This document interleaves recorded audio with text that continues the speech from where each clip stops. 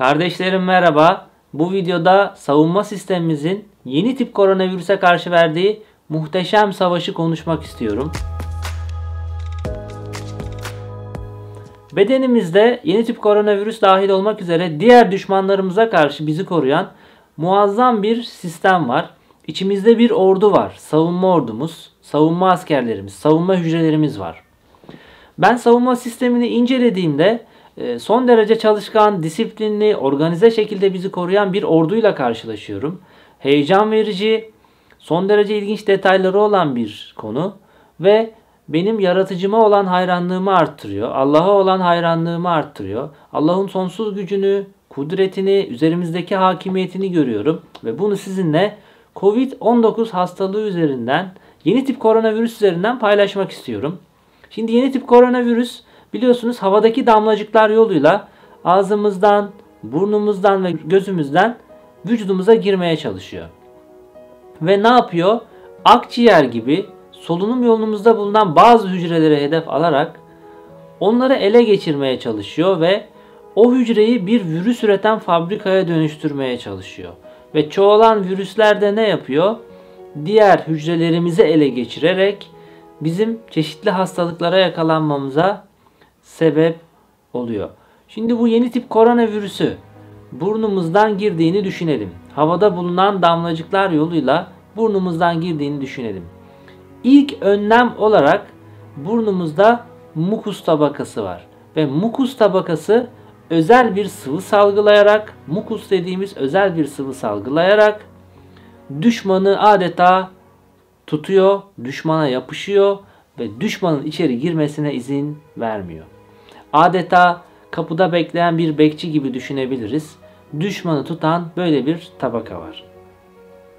Yine burnumuzda havanın akciğere ulaşana kadar aldığı yol uzatılarak konka dediğimiz yapılar sayesinde bu yol uzatılıyor ve hava ısıtılıyor. Bu da yine virüslere karşı, mikroplara karşı alınan burnumuzdaki bir diğer önlem. Şimdi bu ilk savunma hattında burnumuzdaki bu ilk savunma hattında yine önemli bir detay daha var. Titrek tüyler yerleştirilmiş. Bu mikroskobik tüylere silyalar da diyoruz. Silyalar mukusun yardımcısı. Hemen mukusun altına yerleştirilmiş ve üzerine yabancı madde yapışan mukusu yutağa doğru taşıyorlar. Buradan da yutkunma refleksimizle yabancı maddeler yutuluyor ve mide asilimiz tarafından yok ediliyor. Burada çok önemli bir detay daha var. Nefes borumuzdaki silyalar mukusu yukarı doğru taşırken üst solunum yolumuzdaki silyalarsa aşağı doğru taşıyorlar. Dikkat ederseniz her iki bölgenin hareketi de yutağa doğru yapılıyor. Milyarlarca silya hücresinin yutağın nerede olduğunu bilircesine bizi korumak için doğru tarafa doğru hareket etmesi kesinlikle muhteşem. Silyalar yorulmadan, sıkılmadan 24 saat ve yaşamları boyunca sürekli doğru yöne doğru toplu olarak bir hareket sergileyerek bizi korumaya çalışıyorlar, bize hizmet ediyorlar. Diğer bir önlem olarak da öksürük refleksi ve hapşırma olayını söyleyebiliriz. Örneğin tozlu bir ortama girdiğinizi düşünün. Hemen ne oluyor? İstemsiz olarak irademiz dışında vücut öksürük refleksiyle bize zarar verecek olan o tozları dışarıya atmaya çalışıyor. Biliyorsunuz Covid-19 hastalığının da temel belirtilerinden biri öksürük. Ee, yani öksürük de aslında savunma sistemimizin bilinçli olarak ürettiği bir mekanizma. Hapşırma da yine aynı şekilde. Peki bu önlemleri aşarsa, bedenimize girerse ne oluyor? Özel olarak yaratılmış savaşçılar var. Lenfositler gibi, makrofajlar gibi askerlerimiz vücudumuzda, bedenimizde düşmanı bekliyorlar. Makrofajlar ne yapıyor? Makrofajlar düşmanı yutarak, yiyerek yani fagositoz yaparak düşmanı yok ediyor. Bunu nasıl yapıyor? Vücudumuzdaki trilyonlarca hücrenin bilgisine sahip, vücudumuzdan olanla bize zarar verecek olan örneğin yeni tip koronavirüsünü o mikroskop altında ancak görebileceğimiz yeni tip koronavirüsü ayırt edebiliyor ve onu e, tespit ediyor, hedefe alıyor ve yutuyor. Makrofajların diğer önemli görevi ise diğer savunma hücrelerine, diğer askerlere bu savaşı haber vermek. Hemen olay yerine makrofajlar takviye birlikler çağırıyor. Makrofajların bir diğer katkısı da pirojen dediğimiz bir madde salgılayarak vücudumuzun ateşini yükseltmek oluyor. Pirojen beyne ulaşıyor. Beynin ateş yükseltici merkezi uyarılıyor ve vücudumuzun ateşi yükseltiliyor. Bu neden yapılıyor? Vücudumuzun ateşi neden yükseliyor? Neden böyle bir önlem alınıyor? Ee, biliyorsunuz Covid-19 hastalığının da temel belirtilerinden biri ateşimizin yükselmesi. Ateşimiz yükseldiğinde 38,5-39 derecelere çıkarıldığında e, mikroorganizmaların üremesi yavaşlıyor ve doku tamiri yani savunma sistemimizin çalışması da kolaylaşıyor. Aynı zamanda kalp atışımız da hızlanıyor. Peki kalp atışımız hızlanınca ne oluyor? Kan dolaşımı hızlanacağı için e, savunma sistemimizin, savunma askerlerimizin kandaki hareketi de hızlanıyor. Olay yerine müdahale anlamında böyle bir kolaylık sağlanmış oluyor. Ateşimiz yükseldiğinde biz kendimizi yorgun hissediyoruz, bitkin hissediyoruz ve bir dinlenmeye çekiliyoruz. E, faaliyetlere ara veriyoruz. Bu da enerjimizin, vücudun enerjiyi e, savaş için, savunma savaşı için kullanmasına da sebep oluyor. Yani birçok yönden ateşin yükselmesi muazzam bir strateji, muazzam bir yaratılış. Peki biz doktora gittiğimizde neden ateşimiz düşürülmeye çalışıyor? Madem ateşimiz yükselmesi böyle katkıları var. Çünkü belli bir miktarın üzerine çıkarsa örneğin 40 derecenin 39-40 derecenin de üzerlerine çıkmaya başladığında vücudumuz için artık tehlikeli olmaya başlıyor ve bu yüzden biz ateşimizi düşürmeye çalışıyoruz. Makrofajların savaştığı ve yok etmeye çalıştığı düşmanla ilgili bilgileri yayanlarsa, savunma hücrelerini harekete geçirenlerse yardımcı T hücreleri. Yardımcı T hücreleri diğer askerleri, diğer savunma hücrelerini uyarıyor ve savaşa davet ediyor. Takviye olarak davet ediyor. Ve öldürücü T hücreleri ve B hücreleri devreye giriyor. Burada biz B hücrelerinden biraz bahsedelim.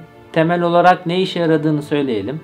B hücreleri bu askerlerimiz vücudumuzun silah fabrikaları. Yani düşmana özel silahı B hücreleri üretiyor. Bu silahı yani antikorları her düşmana özel olarak üretebiliyorlar. Bu muazzam bir yetenek. Çünkü biz bilinçli olarak adeta yapamadığımız, bilimin geldiği son noktada bilinçli olarak yapamadığımız bu çözümü vücudumuzun bu hücrelerinin yapabildiğini görüyoruz. Bu antikorlar örneğin grip virüsü için farklı, Ebola, MERS veya işte yeni tip koronavirüse karşı üretilen antikorlar hepsi için farklı. Milyonlarca farklı düşmana milyonlarca farklı antikor üretebiliyorlar. Böylesine muazzam bir yetenekle yaratılmışlar.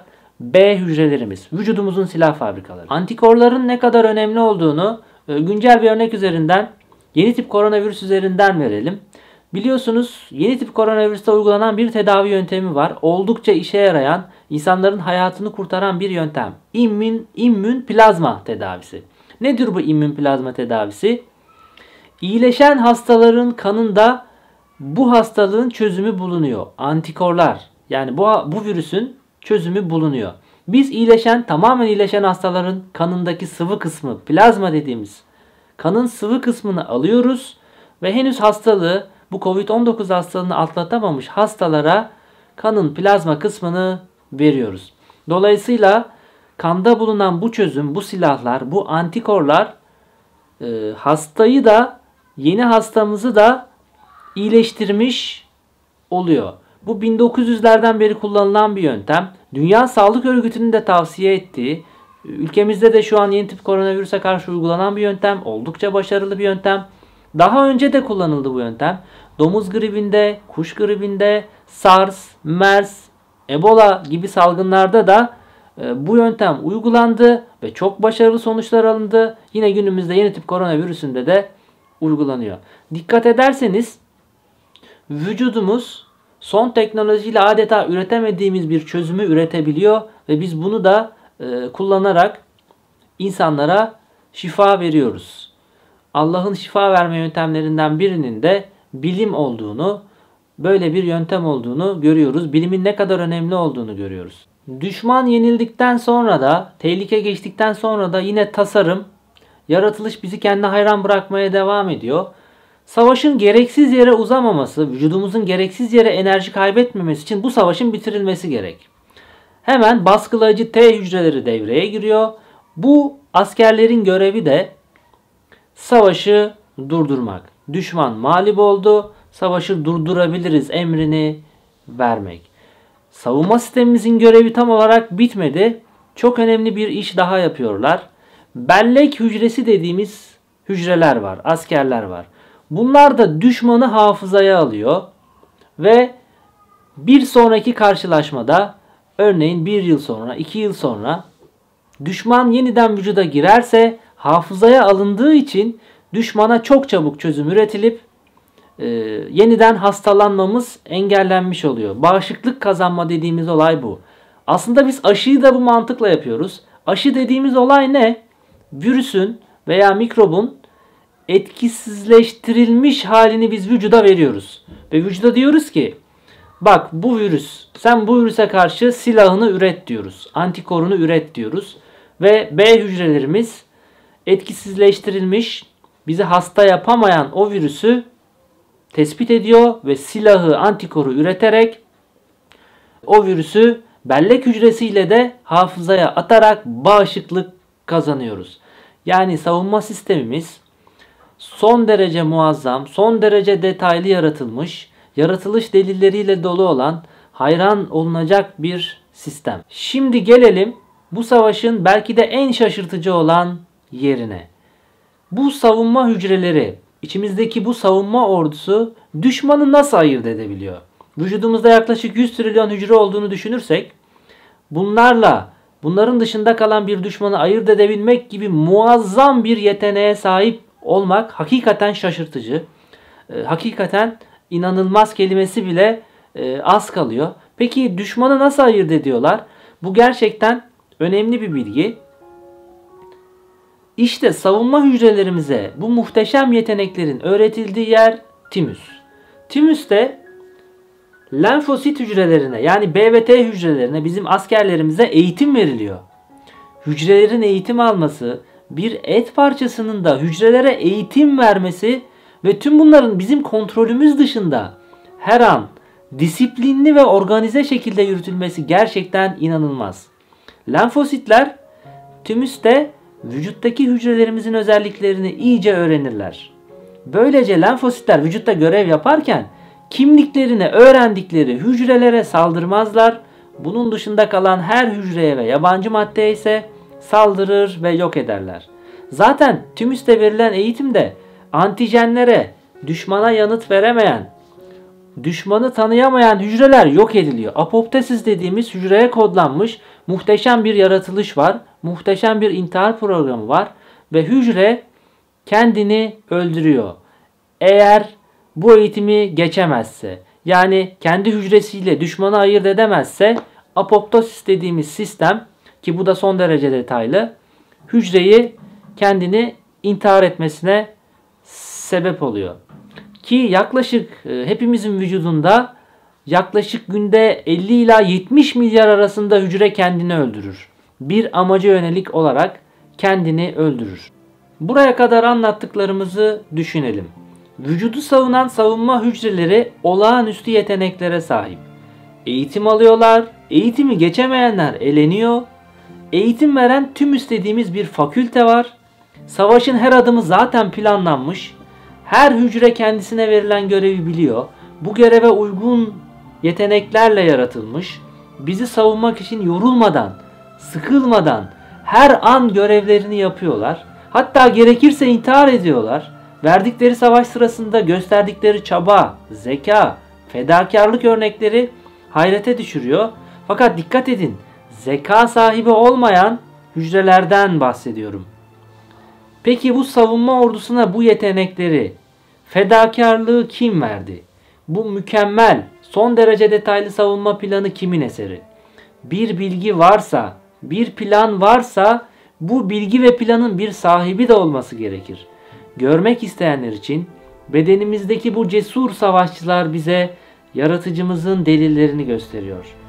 Bir ülkenin savunma sistemi nasıl bilinçli şekilde oluşturulduysa insanın ve diğer canlıların çok daha muazzam, çok daha detaylı savunma sistemlerinin de bilinçli şekilde oluşturulduğunu kabul etmemiz gerekiyor.